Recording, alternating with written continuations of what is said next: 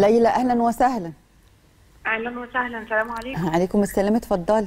ازي حضرتك وإزاي الشيخ أحمد؟ الحمد لله بخير والله الحمد لله. أنا بحب حضرتك جدا ومتابعاك. الله يحفظك يا رب. أنا ليا رجاء عندك تسمعني للآخر. اتفضلي. الأول أنا في سؤالين أنا بعملهم ومش عارفة هم صح ولا لأ. أنا لما بطلع صدقة يعني على قد ما ما قدرتي معايا معايا مش معايا ممكن وأنا نازلة أخد إزازة مية اديها لحد أعتبرها صدقة. بس. دايما ببقى مستقللاها. لا ولا تسألي ده بالعكس ده كبيرة جدا عند رب العالمين. وتاني حاجة بصلي يعني ببقى يعني ظهري تعبني رجلي تعباني يعني أنا سني مش يعني مش صغير ومش كبير قوي 55 سنة. بندك فبصلي الركعة الأولى وبكمل الصلاة وأنا قاعدة. ما بتقدريش تقوم ما, بت... ما بتقدريش تقومي للركعة الثانية صح؟ لا ممكن أقدر بس بيبقى في وجع ألم في ظهري شوية في رجلي شوية ف... فبصراحة ممكن أعتبره كسل وأكمل بقية الصلاة وأنا قاعدة. حاضر حاضر. ثالث سؤال بقى وده المهم عشان أنا ده هسمعه لزوجي. أنا متجوزة بقالي 35 سنة. هو قبل ما تقولي السؤال الثالث إحنا بس ال... ال- السؤال الثاني ده إن حضرتك بتصلي وأنت واقفة وبعدين تسجدي وبعدين تيجي تقومي فبيبقى فيه ألم لا يكلف الله نفسا إلا وسعها صلي يعني قائما إن شئت فإن لم تستطع فجالسا ده كلام سيدنا النبي محمد عليه الصلاة والسلام. والصدقة حتى لو بسيطه نطلعها. والصدقة ده عظيم عند رب العالمين عظيمة. النبي عليه الصلاة والسلام بيقول اتقوا النار ولو بيه يا رسول الله مليون جنيه مليون دولار مليار. قال لا ولو بشق تمر. نص تمره آه. طيب قولي بقى السؤال قولي بقى التالت. سؤالك الثالث 35 سنة. متجوزة من 35 سنة. زوجي اللي أنا اتجوزته ده كان أرمل. مم. معايا ولد وبنت خدتهم صغيرين وربيتهم. ويشهد عليا ربنا إن أنا ربيتهم تربية كويسة وحبيتهم. وبعدها جبت ولد وبنت تاني. ولاده كبروا ال- الولد خلص جامعة وسافر بره في دولة أجنبية واشتغل واتجوز وخلف ومستقر هناك. والبنت اتجوزت وخلفت وجوزها كان ميسور الحال وتاجر وكل حاجة. وجه توفاه الله من سنتين. بس ما شاء الله يعني سايبها مستورة هي وأولادها وسايب لهم شغل وتجارة. كويس. زوجي بقى بخيل من يوم ما اتجوزته جدا جدا جدا. لا عمري شفت منه حاجة كويسة ولا عيشة كويسة ولا هدية ولا كسوة ولا صرف عليا في مرضي حاجة كنت أنا بشتغل بفصل حاجة ببيع من البيت حاجات وب- وبجيب يعني لو تعبت احتجت علاج أنا اللي بجيب لنفسي عمره ما جاب لي حاجة. وكان بخيل على الكل وعلى أنا بس عاوزك قبل ما آه، تخلصي بلاش بخيل- التعميم. بتقول لك بخيل على الكل وعلى نفسه. لا بلاش التعميم. يعني هو عنده صفة البخل. أيوه بس ب- وهي من 35 سنة هو كده؟ ما بتقول لك هو بخيل أيوة. على نفسه يعني أيوة. حتى ما بيصرفش على نفسه هو صح؟ أيوه ومع إنه مقتدر.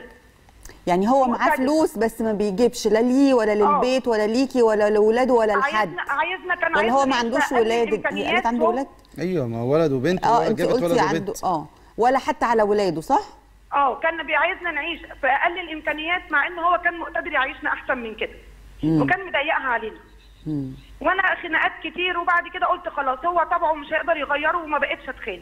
محدش بيتغير. ولكن انت متأ... متأكدة ان معاه فلوس ها؟ آه ما هو أنا جاية لحضرتك في الكلام. طيب. من من حوالي من حوالي سنتين كل فلوسه وكل حاله راح اداهم لبنته اللي زوجها توفى. كله كله. راح اداهم لها ليه؟ قال لك بتربي أيتام. قلت له ما هي مقتدرة واعدل ما بين ولادك وفي هنا عندي بنتي وابني لسه. ما, ما يعني ما اتجوزوش. قال لي ابنك راجل يقدر يشتغل ويعتمد على نفسه. وبنتك بكرة تتجوز تبقى مع راجل هو اللي يتكفل بيها. قلت له طب قسم اللي بي... اللي بتديه لها. حتى باقي المعاش اللي بياخده بيديني ربعه وأقل من ربعه وباقي المعاش بيديه لها كل شهر. وهو اللي قال كده واعترف بنفسه. هي هي بنته دي آه، أرملة بتقولي؟ آه. و... و... وجوزها كان سايب لها فلوس ولا معهاش؟ سايب لها سايب لها عنده محل وتجارته وعمارة وعمارة كاملة. هي قاعدة في شقة وباقي العمارة بتتأجر. آه تمام. ويعني وحالها ميسور. وأخوها اللي اللي مسافر بره دوت في ألمانيا بيبعت لها. برضه؟ آه. أنا جيت رحت بعت لها وقلت لها يا بنتي أنا دلوقتي أبوكي والعيشة ومش بيدي إخواتك ومش ومش سايب لهم حاجة. قالت لي ده, ده هدية هو بيديها لي. حاجة بيني وبينه ما تتدخليش انت. تمام. وأنا قلت له قال لي لا أنا هتصل أنا اتصلت بدار الافتاء قالوا لي من حكم في ماله فما ظلم. قلت له ما انت كده مش سايب اي حاجة بعد عمر طويل. انت ده مش ميراث فهو طول ما هو عايش بيدي. ما هو هو ادى كل حاجة نسايب حتى 100 جنيه تبقى ميراث. آه يعني كتب كل أملاكه؟ كله كله وفلوسه اللي كانت في البنك وكل حاجة. لبنته دي؟ آه. قلت له كده ربنا يحاسبك. يقول لي لا بيحاسبني ليه؟ ده أنا بتكفل بأيتام. لا دي مش كفالة أيتام وربنا هيحاسبه إن شاء الله. لا جيت كلمت دار الإفتاء وقلت لهم قالوا لي هو حر. إن شاء الله يكون بيقبض 100000 جنيه ويقول لك باخد 100 جنيه هو حر. وفلوسه وهو حر فيها يديها للي, للي هو عايزه يصرفها يعمل فيها اللي هو عايزه. بصي يا ليلى طيب هو في بس على حاجتين الأقل بس أيوه على الأقل يكفيكي. يعني يكفيكي في النفقة مكفيني. عليك لا معيشني على القد. أقل من أقل من القليل. بصي يا ليلى هو في فرق بين حاجتين بين إن هو يبقى معاه فلوس ويدي لحد من ولاده أو ل... أو يتصرف فيهم زي ما هو عايز فدي فلوسه. ويكفيها. آه. لكن لا. وفي فرق بين الميراث بقى ده حاجة تانية إن هو يقسم الميراث وهو عايش. خلى- ما خلاش أي حاجة هو كان في حاجة. باسمه يعني؟ نعم. عنده حاجة كانت باسمه غير آه، الفلوس كان دي؟ كان عنده كان عنده وعنده فلوسه كله كله اداهم لها. قلت له طب والولد والبنت دول بعد كده ما يبقى لهمش حاجة؟ يقول لي هي واولادها أولى بدل ما تشتغل وتتبهدل. قلت له طب ما هي عندها شغلها وتجارتها. يقول لي يقول لي دي حاجة بيني وبين ربنا أنا بكفل أيتام ودي حاجة أنت مالكيش دعوة بيها أنا حر في مالي. أنا حر في مالي. هي اولادها اولادها عندهم كام سنة؟ ولا ولادها عندها ولد عنده سبع سنين والبنت عندها أربع سنين. وانت ولادك اللي هم ولاده ولادك أنا دول أنا هم بنتي ولاد. مخطوبة بنتي مخطوبة وعلى وش جواز؟ والولد بيشتغل والعيشة صعبة عليه يعني متكفل بنفسه. فأقول له سيب له حاجة تسنده أو أو هات له شقة. طيب هو لو كتب ده المعاش بقى ليه بيديهم المعاش كمان؟ عشان بيقول لي عشان لما ابقى أموت ما يعني ما- يبقاش ليه حاجة يعني. ما يبقاش في حاجة كله كده يديهولها على طول. والكلام ده أنا هسمعه له لأن هو اللي قايله بعضمه لسانه طيب يعني ال ال الإنسان يتصرف في ماله كاملا هذا لا يجوز. لا يجوز للإنسان أن يتصرف في ماله كاملا وبيبقى عنده نية كده حرمان بعض الناس من من الإرث هذا لا يجوز أصلا. آه لكن قضية الهبة لها أحكامها الخاصة. إحنا بنخلط يا اخوانا بين إن الإنسان يقول لك ده من باب الهبة. مين اللي قال ممكن يكون ده هبة؟ وممكن ان ده أصلا بيكون من باب حرمان من الميراث. فإحنا لابد أن نفرق بين الحالتين والهبة لها أحكامها الخاصة التي تحتاج إلى شرح طويل في هذه المسألة. الحاجة الثانية اللي هو قضية الظلم والتقصير في حق أولاده وفي حق زوجه هذا لا يرضي الله رب العالمين.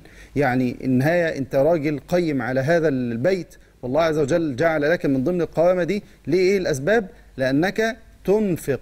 في سبيل بتنفق على اللي وبما أنفقوا من أموالهم وبما أنفقوا من أموالهم. وإحنا عندنا مفهوم كمان مفهوم ال- ال- كفالة اليتيم مفهوم خطأ. يعني ربما يكون اليتيم أحيانا يكون أغنى مني ومنك. أحيانا. ليه؟ أبوه ما شاء الله ترك له ثروة عظيمة ما شاء الله. فيقول لك بس هو يتيم. أيوه يا سيدي يتيم بس غني. يتيم بس غني. أنا ممكن أعوضه حنان الأب.